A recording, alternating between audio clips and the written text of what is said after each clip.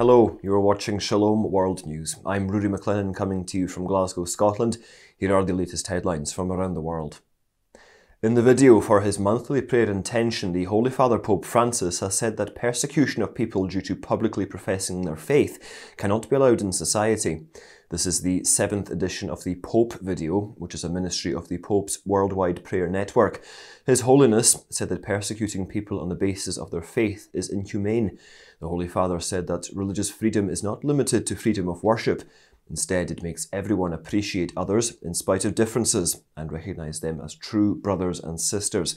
Pontifical Charity, Aid to the Church in Need, which supports the message of the Pope, said in its annual Religious Freedom in the World report that religious freedom is violated in around one out of three countries around the globe. A groundbreaking analysis of non invasive prenatal tests, or NIPTs, published by the New York Times, has found that tests give inaccurate test results up to 85% of the time. A significant number of abortions are carried out because the fetus is diagnosed with genetic abnormalities. As per the New York Times report, expecting women have been misled to believe that a few ampules of their blood taken in the first trimester will allow companies to detect severe developmental defects in the fetus. As a result, many parents do not seek follow up testing. Over the last decade, prenatal testing has grown into a vast industry. More than a third of pregnant women in the United States opt for blood tests to check for developmental abnormalities. There are hopes that the new report might lead expecting mothers to reconsider undergoing an abortion. The Catholic Church teaches that abortion at any stage is wrong because life begins at conception. In Iran, nine Christians were released from jail last week pending a review of their prison sentences. Among the released believers is Pastor Matthias Haghnejad of the Church of Iran, who was earlier awarded five years imprisonment for threatening state security and spreading Zionist Christianity after a trial in September in 2019. Along with him, eight other members of his denomination were also convicted, and they too received five years imprisonment. Without a hearing, the sentence of the pastor was upheld on February the 25th in 2020. However, in November of last year, the Supreme Court said his sentence would be reviewed along with those of the others. While the pastor was released on December the 30th, the other Christians were freed on New Year's Day, pending a review of their sentences. Recently, the top court in Iran had ruled that Christians worshipping in homes cannot be charged with sedition or other anti national activities.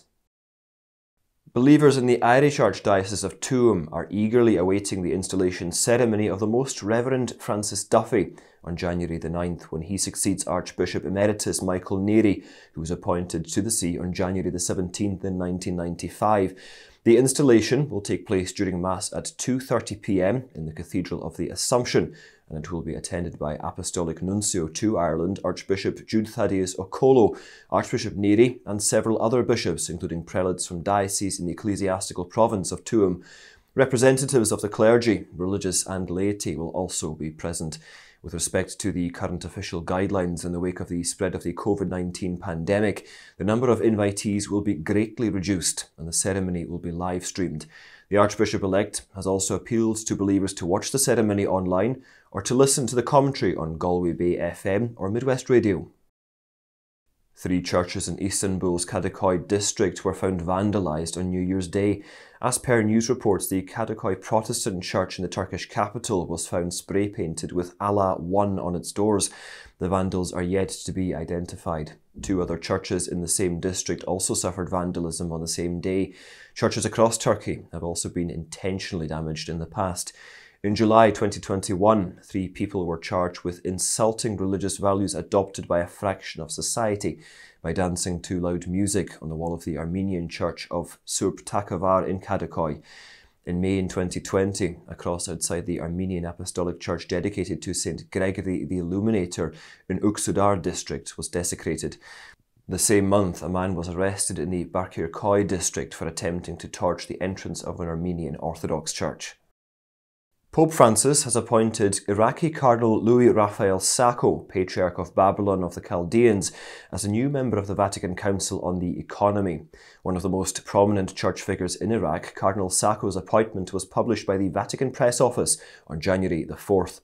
The 73 year old Cardinal will be a part of the Economic Council that supervises the economic management and administrative and financial structures and activities of the dicasteries of the Roman Curia and the institutions related to the Holy See and the Vatican City State.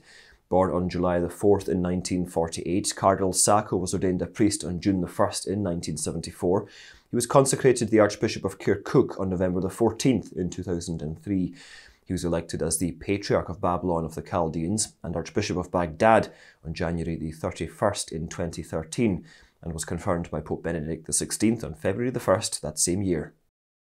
The Christian Association of Nigeria has called on the federal government to take necessary action to prevent the abduction of school children and prove that it is in charge of the nation. Speaking to Nigerian outlet Punch, the vice chairman of the Christian Association of Nigeria, or CAN, in the northern region, Reverend Joseph Ayahab, said that if the government does not take measures to stop school abduction, then the government would have completely fallen and given in to Boko Haram linked bandits. He also said that through abduction, the jihadists try to weaken the educational system and discourage the children from going to school. As per the United Nations Children's Fund November 2021 report, at least 1,440 students were abducted in Nigeria, with 25 attacks on Nigerian schools being reported between January and November. CEN is an official ecumenical organisation of churches across Nigeria commemorating the seventh anniversary of the martyrdom of the 20 Coptic Christians beheaded on a Libyan beach by members of the Islamic State, the Coptic Orthodox Diocese of Samalut in Egypt has called for a prayer initiative. The 15 day spiritual awakening, remembering the martyrs, will take place from February the 1st to February the 15th. The diocese has urged the faithful to participate in the liturgical and ecclesial events at the shrine built in their honour in the town of Al Awar, where most of the martyrs hailed from. In a press release, the Coptic Orthodox Bishop of Samalut, Anba Pavnotios, invited everyone to appreciate the spiritual benefits and blessings that the Libyan martyrs can bring to fruition for those who celebrate their revered memory. In early January in 2015, the Copts, along with a Ghanaian co-worker, were kidnapped by Islamic State militants in Libya. On February the 15th, Islamist websites published a video of the group of Christians being beheaded after they refused to renounce their faith. The bodies of the martyred Christians were discovered in a mass grave near the Libyan city of Sirte in late September in 2017. In the execution video, it can be seen that many of the martyrs called on the Lord's name before they were executed. The Coptic Church has recognised the miracles attributed to the intercession of the martyrs. And those are your latest headlines. Do join us again tomorrow.